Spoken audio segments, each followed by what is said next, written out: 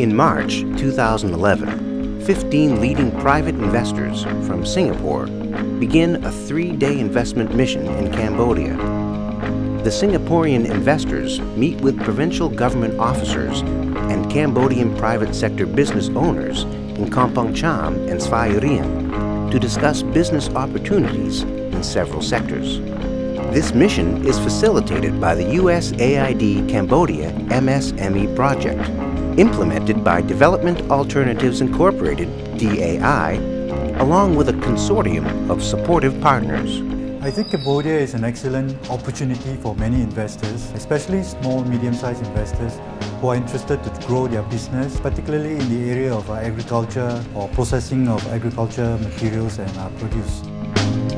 In December 2010, the USAID Cambodia MSME project organized a first mission to Singapore.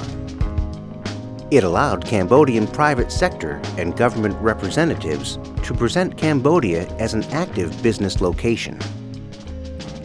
Cambodians met more than 90 Singaporean counterparts to promote investment opportunities in Kampong Cham and Svay Rieng.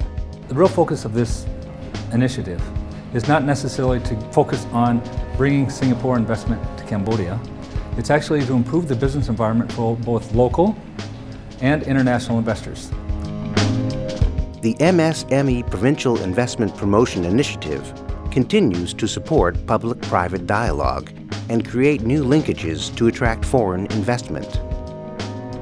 The project promotes an improved business enabling environment not only in Kampong Cham and Svay Rieng, but throughout Cambodia.